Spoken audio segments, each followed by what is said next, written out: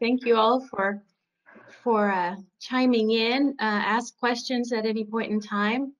Um, the what we've done in our community, uh, the East Texas Human Needs Network is actually not a direct service provider except for the Getting Ahead classes. Everything else that we do is working with organizations uh, on collective impact, on research. It's all about poverty. And then uh, we teach many of the programs that AHA process has in place. One of the things that we identified was that we had uh, an unsheltered homeless community that was not, uh, didn't have access to care. And I was asked by the health department to develop a homelessness response plan. And knowing what we already knew about our community and then including what the CDC guidelines had already posted, we developed a plan that was very comprehensive, taking into account how to address the needs of people who are sheltered uh, and people who are in encampments. But most importantly, how do we take care of those people who are not sheltered, who have pre existing conditions that put them at greater risk of complications if they were to be infected by COVID 19?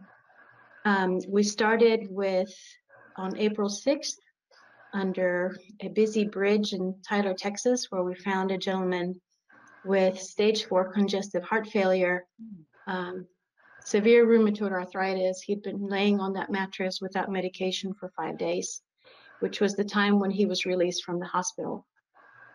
The hospital actually released him by putting him on a taxi and taking him under the bridge. It's heartbreaking, and it's an issue that we're going to be addressing. But for now, we needed just to take the step forward and, and start helping that community. Well, since that day, we've been able to identify 24 different individuals. When we meet with them, we use the CDC's app for screening.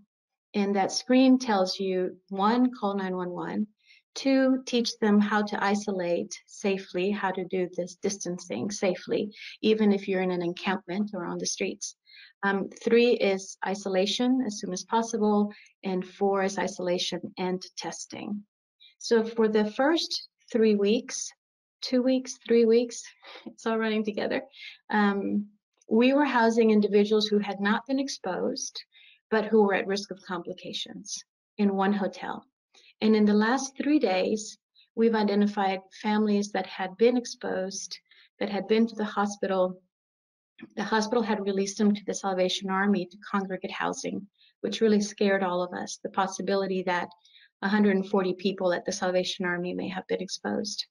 Um, but we've taken those two young families and put them in a separate hotel. Since then, we've identified two other families. So we have two hotels, one for protecting individuals who haven't been exposed but who are at high risk of complications. And now the second hotel, which is for placing people that have been exposed, that are showing symptoms, that have been tested, and who are awaiting uh, results.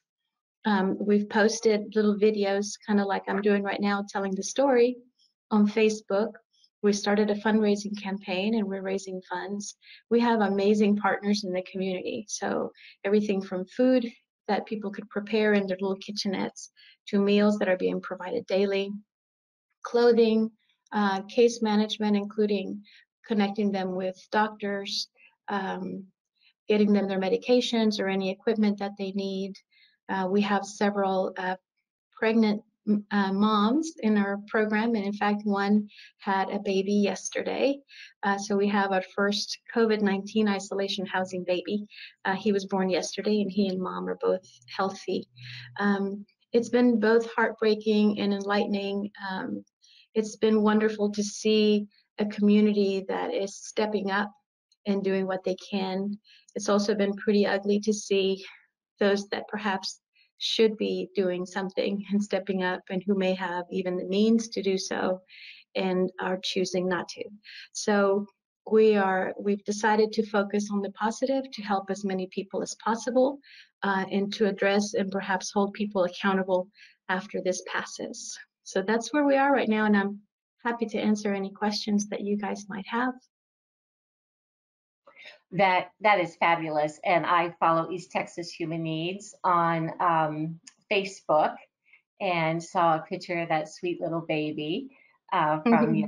today. So Yeah. um, anybody that you know, we need to follow each other on Facebook with if you have a Bridges community, and and they are East Texas Human Needs, and you can follow them on Facebook to see uh, their postings and what they're doing. But anybody have questions for Christina? I did mute um, you guys while she was speaking, so please open up your mics. What kind of um, you know challenges or whatever? But Katie, I see you're open. What question do you have? Um, I guess as uh, since what you do is um, partner with other organizations, it seems like that is a real strength that you that you have and that you're still working that. How do how do you develop those kind of partnerships?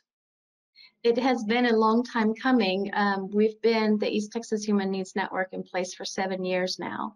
And I think the way in which we stay connected is that over 100 organizations are working together, and it's everything from a taxi cab company to a, to a shelter to a junior college or to a food pantry. What we all have in common is that we're helping others and that we're doing it in various ways, but that's really what we have in common. So we stay connected, we meet regularly, we learn more about each other.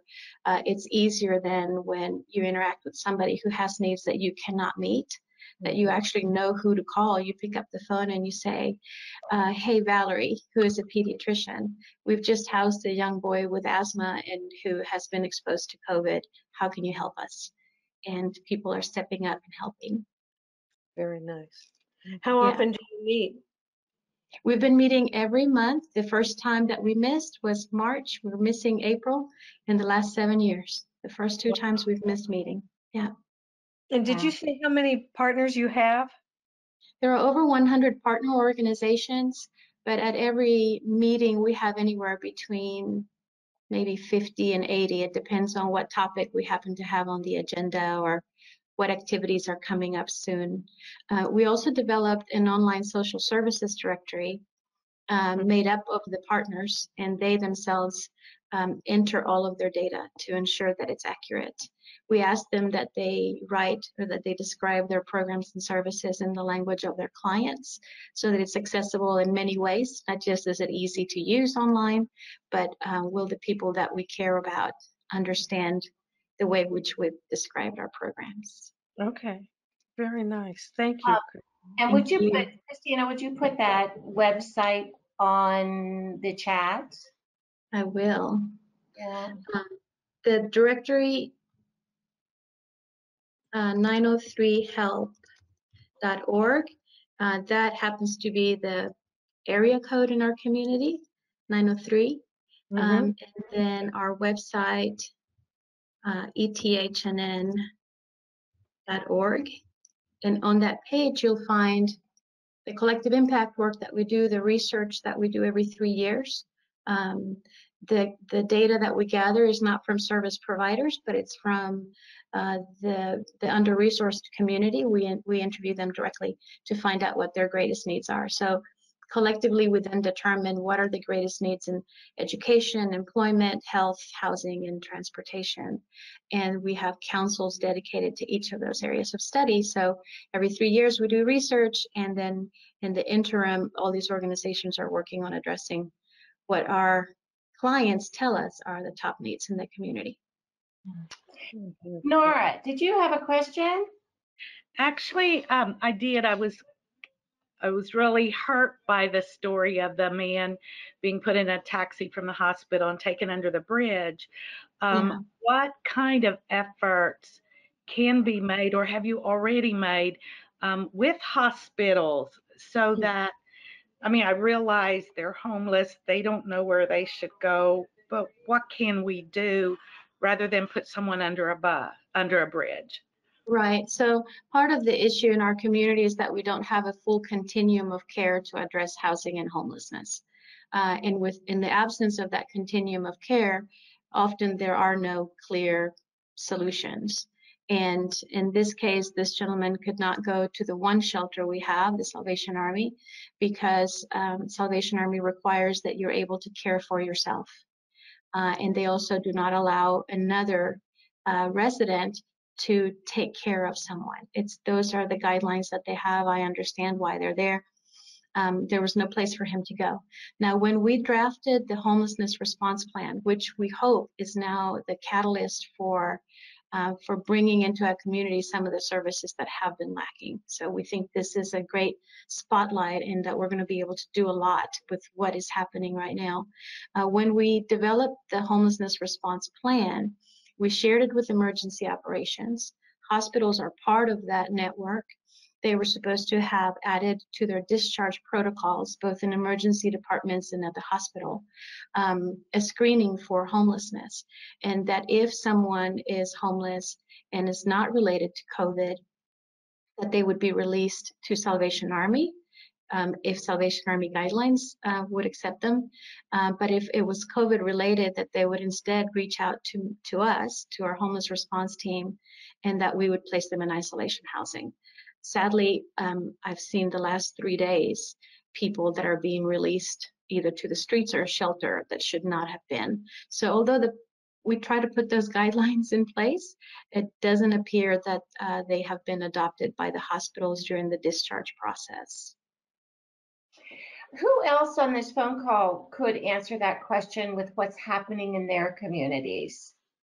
Um, unmute yourself, or I see a few people have raised their hands. And so I'm going to unmute you, maybe. Mhm. Um, Kimberly, I, I, I can't unmute you. So Al- Alisa, Alicia, Ashley, Kimberly, Phil, please unmute yourself. And, um, and if anybody wants to respond to that, William?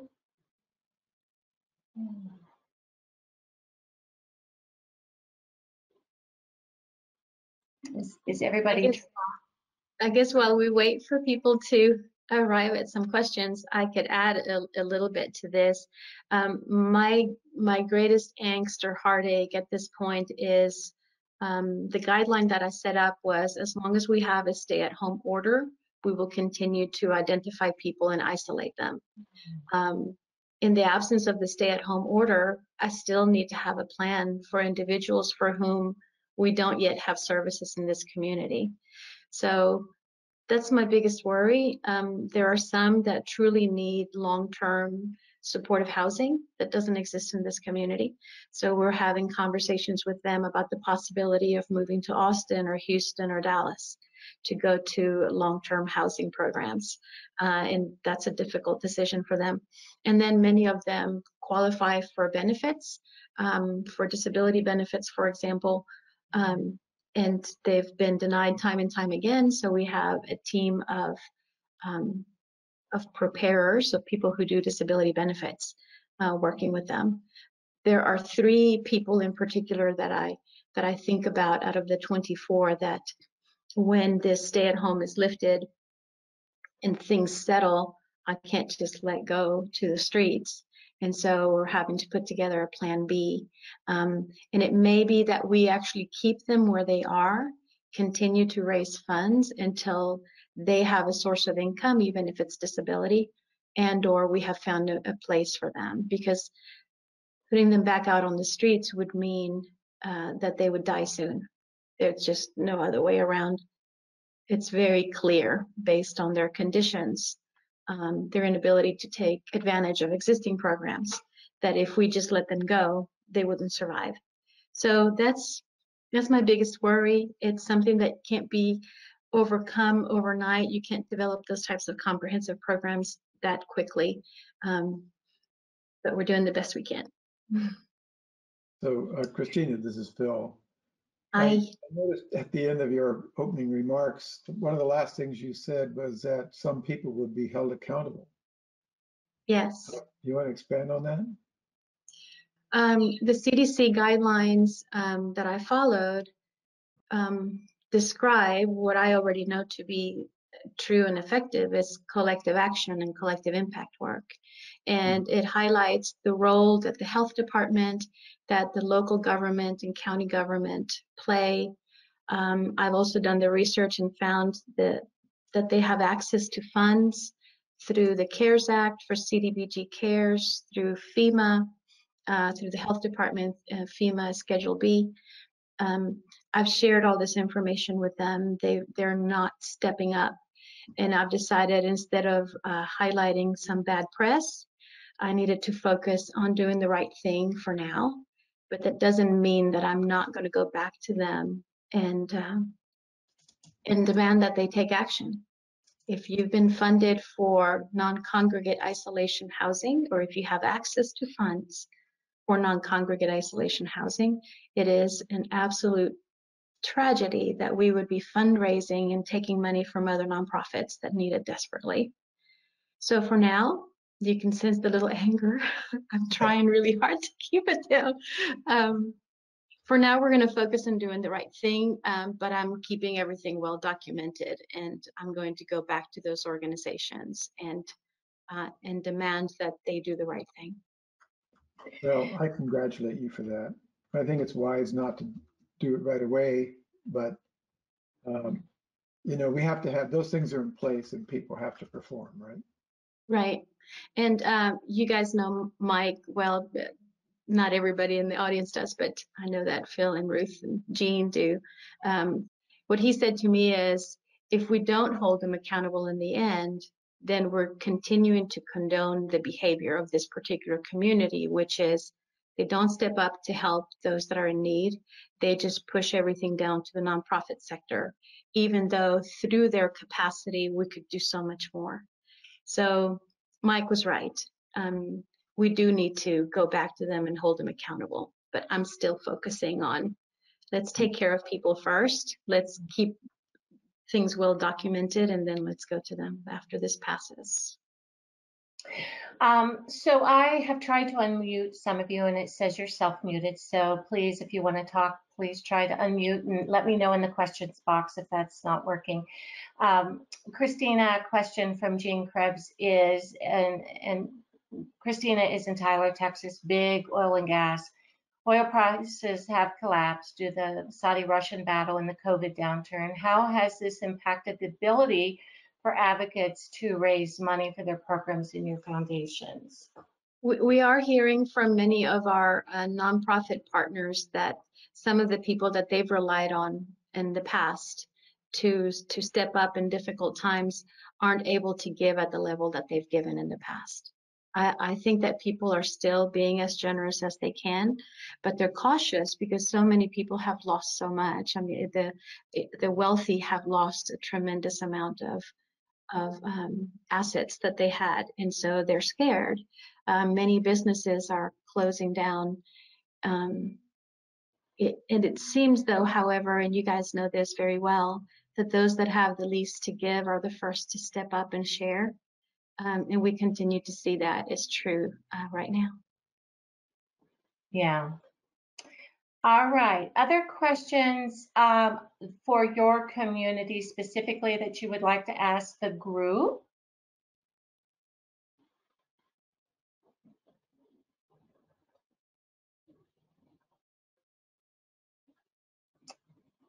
Ashley, I'm still muted, but that's okay. My dog keeps barking. well, when I click on you, Ashley, there you're open. Your mic is open, Ashley. Hey, can you hear me? Yes. Hi. Hi. So, were you? I'm I'm sorry. I was trying to figure out the unmuting thing. Were you trying to get us to talk about what's going on in our communities, or questions that we have for her in her community? Either way, Yeah, you know, the topic today, real problems, real solutions during COVID. So if you have a real problem that's unsolved, let's bring it to the group. If you have a question for Christina, that's great. Oh, so no, I I was just gonna comment, which I'm sure Lavar, he's in Dayton area and I'm in like Hamilton, Cincinnati area, but I was just gonna say that our community has really like stepped up. Like the people that are in homeless shelters, the shelters are paying for like individual hotel rooms and like providing meals every day and like schools delivering. I mean, I'm just like I'm blown away by like the people that have come out of the woodworks to like that you didn't know even existed or organizations that existed to like oversource, you know, those that are suffering or the healthcare workers, you know, getting free hotel rooms so they can quarantine away from their families, you know, yada yada yada. I'm just like, it just hurts my heart so much to know that her community is struggling by taking people, you know, to like under a bridge rather than like trying to find something more sustainable in the moment for that person. I mean, they're a human being, you know what I mean? So Right. Yeah, it is heartbreaking. But yeah, right now we are, that's, that's what we're doing. The isolation housing is, is in hotels and two separate hotels now.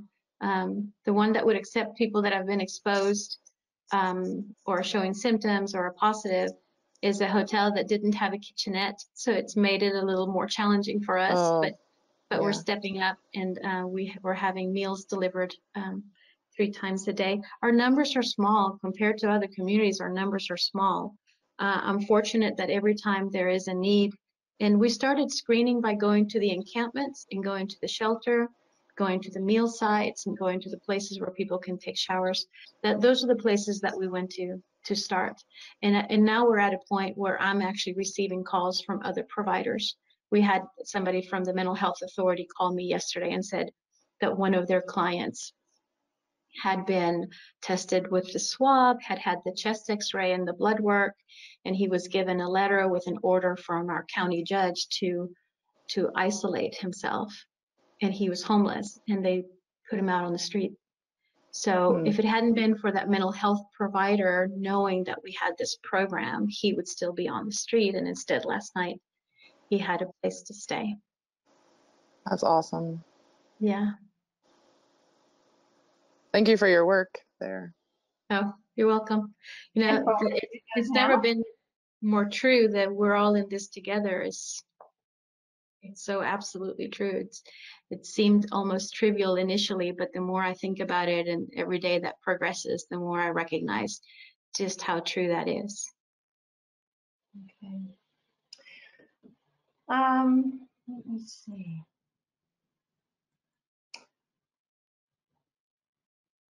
I'm not unable to unmute you, William, but do you have a question? It says you're self-muted. There we go. Welcome, William. We can, I have your line open. But we can't hear you.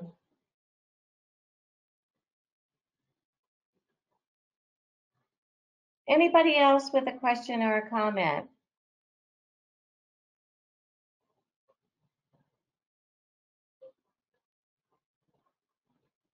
Our goal each week is to give you information that you need um, in your community, in your organization during this period of COVID while we're looking at uh, doing things really differently. If you haven't looked um, at our blogs on ahaprocess.com under under uh, well the blogs, uh, Phil and Stephen McDonald, Heidi Jones, and another posted an article about post-COVID um, that I encourage you to look at to see um, how that might operate in your community. Um, anybody else? Anything else you want to say, Christina? Christina, like she says, they've been at this for for seven years, and I had the opportunity of being at their uh, local conference, annual conference this year, where they um, uh, resulted from what she said, what people were telling them they need to concentrate on and what to do. You want to talk a little bit about that, Christina? Um, this year's summit in January was was wonderful because we were able to bring on board uh, consultants from um, from AHA Process for pretty much every sector. We had the consultant that wrote the book or is actually doing the work, and we invited our community come to understand uh, bridges out of poverty, not just the needs. So we had research, we could give them the research and the data that said these are the top needs in the community. But we also were able to provide things to AHA process. You know, this is how you address poverty in um, the getting ahead while getting out, or workplace stability, or tactical communications, or um, health and healthcare. Um, and so people in each of those areas of work were able to come and learn more about more about bridges, more about getting ahead. Okay, It was great. It was fun. great. Uh, let me just change gears just a little bit. How are your getting ahead classes going? Me? You're asking me Are or everybody? Everybody. Yeah. Question for everybody. Um, at in Tyler, we don't have an active class right now, but we have had uh, many. I think we have 96 grads right now, um, and they've become amazing advocates. Some of them are now members of the East Texas Human Needs Network, and so we try to get um, an advocate, an investigator into each of our councils, so that as the nonprofit sector um, develops solutions to the problems that were shared with us that we have somebody with real life perspective to say, well, this is the reason why that might not work. Um, so our getting ahead is going well, and now we are waiting for school to start because our getting ahead uh, program uh, is being implemented uh, with Head Start. We're having Head Start um, classes, and um, and getting ahead also for some of the family service workers at Head Start.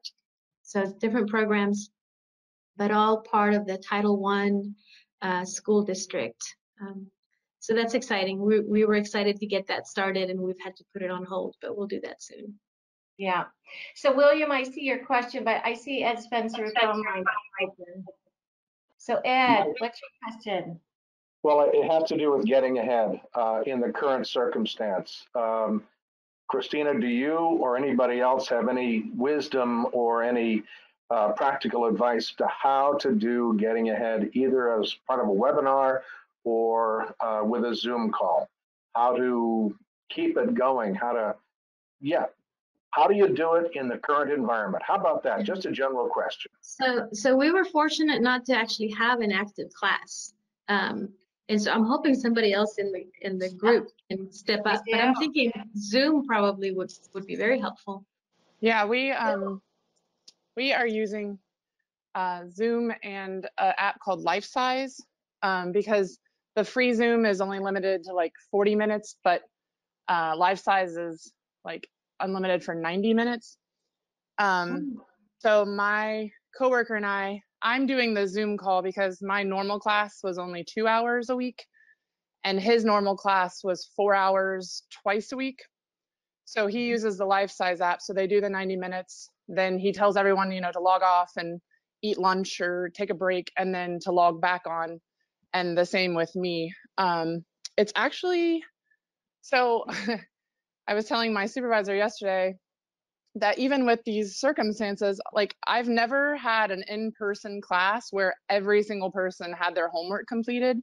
You know, like someone's like, oh, I Mhm. forgot it, or, you know, I didn't have time. And I'm like, we talked about this, but um, I don't know if it's that they're working like they're really thinking because they have that time like i need resources and i need to learn you know this stuff but every single week they have all of their homework done they're having like lots of questions they're even like facetiming each other with homework um, i've done uh, like one-on-one meetings to work on their smart goals to, like zoom wise you know and so they can see me and i can see them and it's actually like i'm like why didn't we ever do this before for people who like didn't have transportation? You know we could like turn on a computer and have them like sign in and like you know be in the room but not be in the room if that makes sense um, in person so Mhm. for us i think and we we actually had a my coworker had a graduation like via Lifesize app so they even graduated and they were Mhm. mailed their they're mailed their gifts gift cards every week they sign a piece of paper and then they send that back um, we include like a stamp and an envelope and then they got their certificates mailed to them. So Cool. I think it's been really awesome, It's wonderful. especially especially for the people who are like I have an older lady and then another lady who has like two she has twins, but they're both like considered medically fragile. So um without him being in school or daycare, she wouldn't have been able to come to class anyways. And then she was just really excited that we did the Zoom so she could still be a part of it, but like not have to take her son anywhere, you know, to um, expose him. So, Can I ask who's speaking so that I can get in touch with you? oh, um, this is Ashley Davidson. I work at um, an organization in Ohio called Supports to Encourage Low Income Families. I can um, put my email and the questions. Would that work? Or Yeah. can everybody see that? Or I don't Yeah, know. I, I don't have a chat box on my screen. Oh, Um, could you hey, get it to him, Ruth? Or- I can. Uh, Would you? Okay. Thank you, Ruth. Thank you.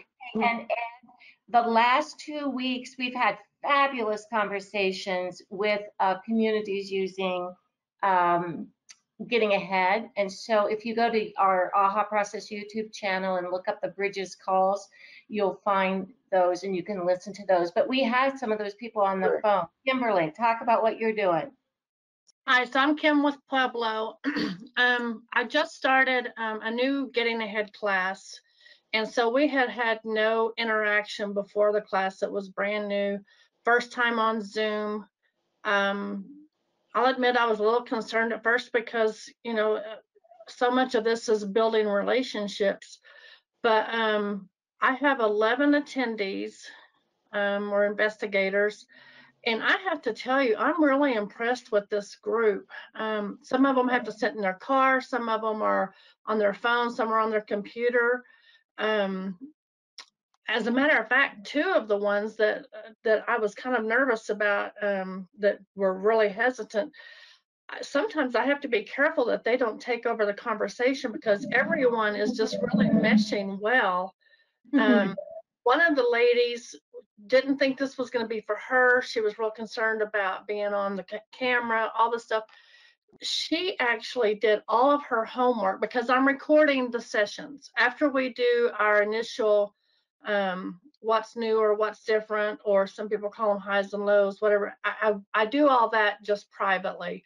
And then I tell them when I'm going to start recording, but I also let them know that I don't share this with anyone. It's just for those who missed a class so they can do their homework. So um, I'm sending those recordings to the ones that missed sessions, and they are doing a fantastic job on their homework. Um, I, I'm I was just blown away. The first lady I talked about, she missed the first two sessions. Um, these are DHS uh, TANF recipients that are in this class, and I I don't know if they're required or really encouraged or what to attend, but um, she was really hesitant and everybody every single person in in these sessions is just uh, really engaged very per, you know they participate a lot. We try to make sure and include whatever's in their background. If a, if there's a baby in a playpen we talk to the baby. If the puppy comes up try to try to in, you know incorporate as many personal things as we can to um, encourage conversation. We're a little bit behind um, where the um, where we're supposed to be as far as in the modules, but not far because I try to make sure and take a little extra time to, you know, talk to the babies and introduce the kiddos and things like that so that everybody can kind of get to know each other. But we're having great success with it. I'm I'm really encouraged by it.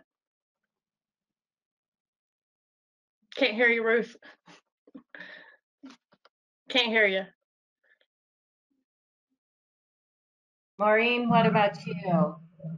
You have your phone line open and you're doing an active class? Yes, I am. I've done two. Can you hear me? Yes. Okay, great, great, great, great. Okay, I've done two classes. I was actually probably four classes in before the coronavirus. So we had that initial where, you know, we were getting to know each other. So, I mean, that was great. and then when Corona hit, I was like, oh my gosh, what am I going to do? Because I'm like, I don't know anything about Zoom and I don't know mm-hmm. technology wise if these students had the capabilities or the knowledge. So I had taken two weeks off of, you know, just to try to regroup and try to figure out, you know, how to do Zoom. And so I have had the last two classes. I had started with 12, which was real good class, and I only have four that are participating. Hmm. So, I mean, it's going okay, but um, you know, I'm trying to learn how to share screens and how to, you know, and I'm giving them homework and all this kind of stuff. But, you know, it's it's it's a learning thing. So my thing is is being able to keep them engaged and motivated. So I'm really impressed to hear that there are some people out there that are like, yay, you know, that's working because I don't know. Uh, Maureen, I, um, uh, were you on our last two weeks? I was. Okay, so you've heard about some of those. Maybe we need to go back to a, uh, another getting ahead. How's it going now that it's been three or four weeks? Mhm. Uh, Yeah. The weekly call. And um, and uh, I wanted to say to Kim that we're we're really glad to hear that yours is going well because we know you were worried about that and Katie Klein chimed in on that too. But I see that Phil Duvall's phone line is open. Let's see what he says. Well, um, I'm really glad to hear that Zoom is going, or those um, virtual ways of doing getting ahead are working for some people, and it's really encouraging. I thought that uh, the relationship building part would be a bit of a problem. So, you know, inviting the puppies and babies in sounds like part of the solution Mhm. there to me. Mhm. But um, I'm really open to to this idea if as long as we could kind of maintain that the dialogue, the learning from each other. It's the relationships and the learning from each other that is the heart of getting ahead, I think. And if we can do that, that's great because as someone already pointed out, there are people that could be in these groups but can't be for all kinds of reasons, uh, disabilities or children or whatever that is. And this would get more people into getting ahead too. So Mhm. um, I think this is a this whole COVID thing can actually uh, force us to become a bit more innovative. Yeah. So uh, Maureen, do you know specifically why, or you have speculation about why some of your people dropped? Um, you know what? I think it has to do with um, technology and internet. And I hate to say that's an excuse for them, but um, I have texted them a couple of times and gave them the Zoom invites and whatnot. Um, and they, we, it's actually, there's a group of them that actually, and they live within the same vicinity. So there's, it's like a housing project. So it's a community center. So they, so they all kind of know each other and whatnot. Um, but some of them, I think it's just like they're not, they're not that motivated. I don't know. Um, the four people that I do have are really good. Um, but I couldn't tell you as far as some of them are saying, well, it's I don't have internet, but then there's Wi-Fi that's available to them. So, you know, it's encouraging that some people are, yeah, they're sitting in their cars utilizing the Wi-Fi at, at hotspots, but these couple of these guys, and I don't know if it's just because of everything going on with the, you know, them getting their kids was set up for school and stuff like that. So I'm not really sure. Okay. Okay. Any any responses to Maureen about that? Well, that might be coming in on um, the um, Gene Krebs says rural America faces a huge problem with internet accessibility. If there's such a thing as the information superhighway, our farm is an information dirt road. The conversation COVID has brought this forward. So it is an issue. Um, Lori Martin is from Nevada And she says that they uh, created a resource for Nevadans statewide. Uh, her nonprofit that she works at, Opportunity Alliance Nevada, has launched a volunteer financial navigator program to ne- connect folks who are struggling with the financial impact of COVID. The link is www.opportunityalliancenevada, eh, I'm sorry, NV, opportunityalliancenv.org, and I'll put that in the chat. Any questions for Lori about that?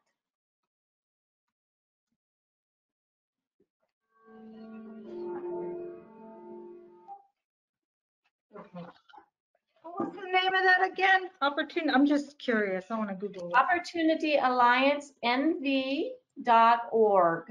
Okay. Yeah. Sounds like a pretty cool program for st- a statewide um, release of that. Okay.